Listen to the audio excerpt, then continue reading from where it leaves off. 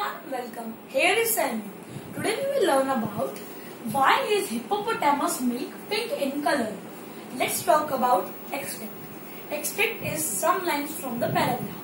Let's start about it. Hippo milk is bright pink in color.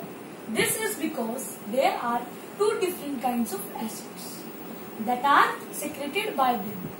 These acids are hipposudoric acid and non-hipposudoric acid.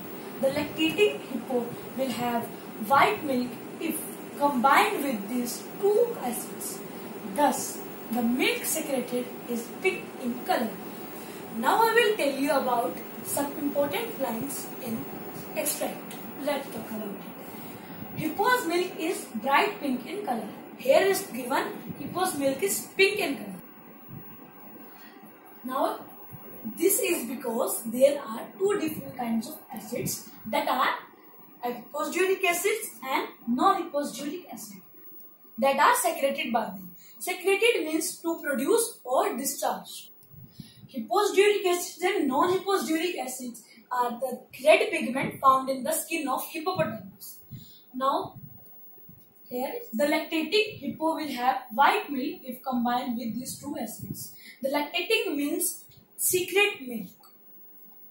So, then is thus the milk is secreted in pink color.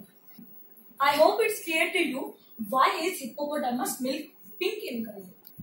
So please like, share my video and and subscribe my channel.